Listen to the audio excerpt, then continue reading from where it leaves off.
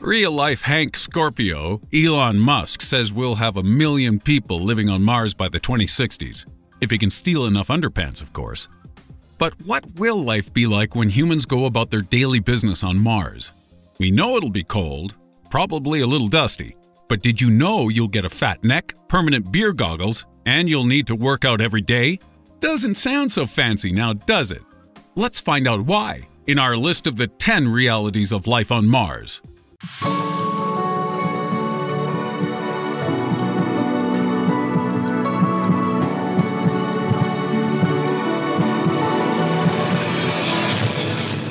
Number 10. We'll be mole people. Since Mars has neither an atmosphere nor a global magnetic field, those living on the surface will need something to protect them from space radiation caused by solar activity and galactic cosmic rays. Right now, NASA is working on force fields and radiation blocking materials to this end. But a solution posed by some scientists is that we may instead live underground. Five meters of soil provides the same level of protection as Earth's atmosphere, so it's likely we'll use existing cave systems as the base for our first Martian habitats. Hooray, we're back to being cavemen. Unfortunately, the levels of radiation present, combined with our current technological limitations, means it'll be some time before any Martian colony will have windows, and that leaves us with the terrifying possibility that we'll have to find somewhere else to leave our pies to cool. Number 9. You'll print your food.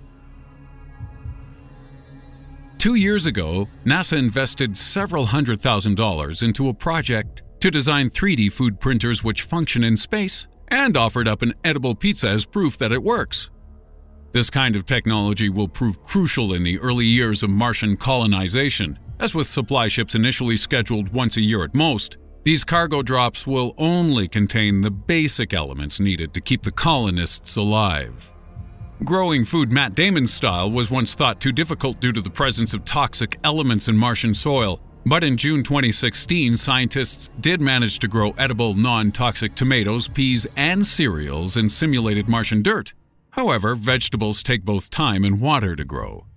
And since we're still not sure if this experiment could be replicated with genuine Martian soil, it's going to be printed beef and spaceman ice cream for a good while yet.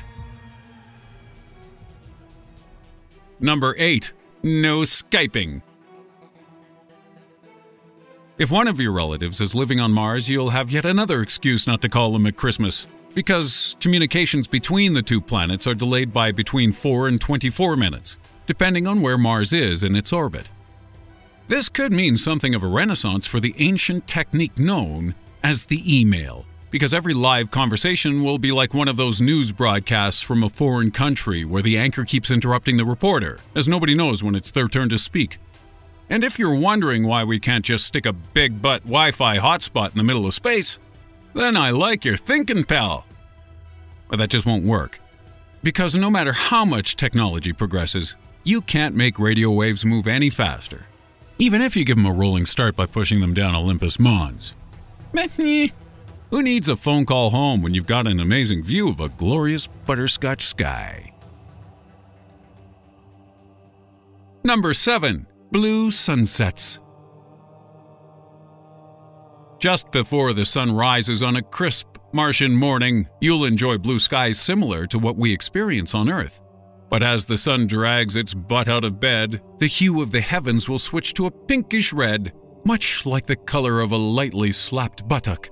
Throughout most of the Martian day, the skies then turn to a yellowish-brown butterscotch color, before returning to a brief period of cobalt blue, and then back to spanked heiny pink as the sun hits the hay.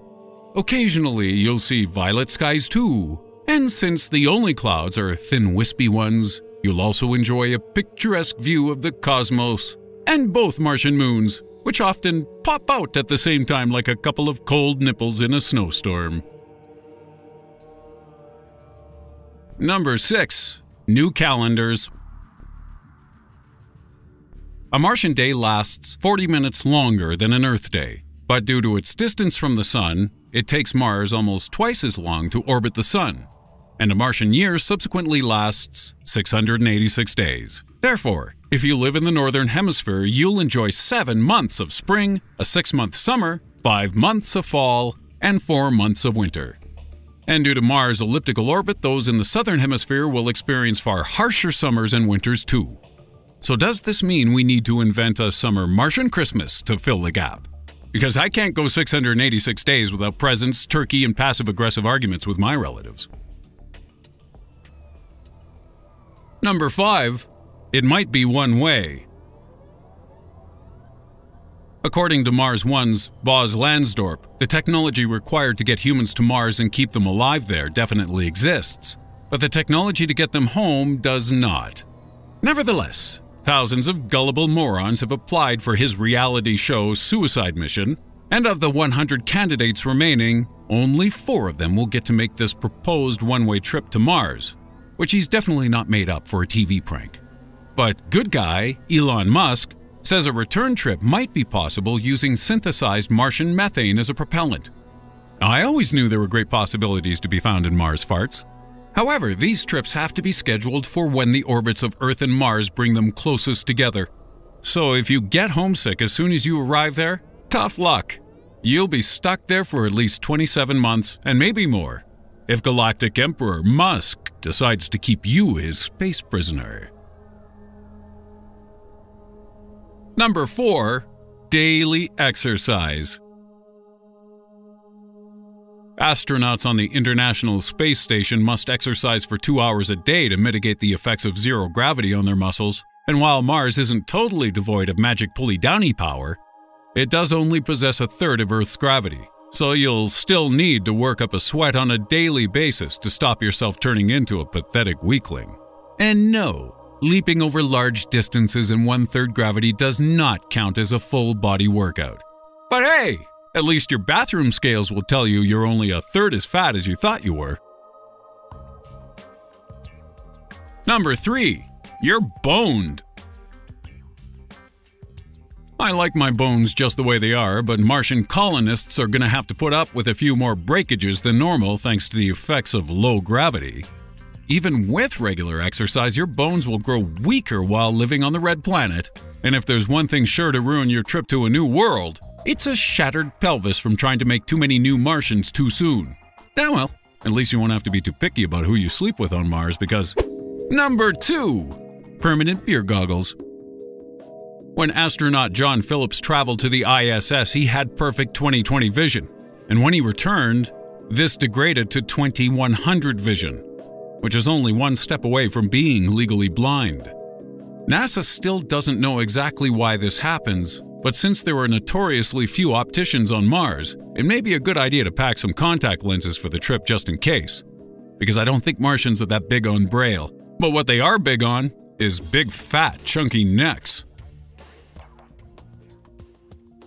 And number one, goiter. I hope you packed enough scarves and neckerchiefs for everyone, Elon Musk, because thanks to the presence of toxins in the Martian soil, there's a risk everyone could end up looking like this. Now, we're not talking about those made up toxins your aunt thinks she can cleanse herself of by eating nothing but prune juice and taking a large dump. No! We're talking about high concentrations of perchlorates, which are toxic salts that can cause huge amounts of damage to the human thyroid glands. Even if we can rid Martian crops of these salts, just touching the soil on a regular basis is a bad idea as too much exposure could cause hyperthyroidism, which leads to goiter, skin rashes, nausea, and vomiting.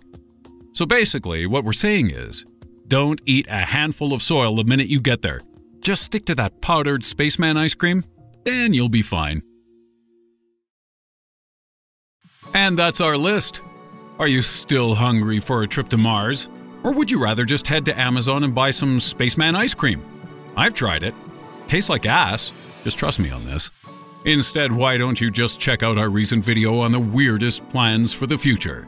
Because if you think a trip to Mars is interesting, just wait until you see what else we've got in store for you.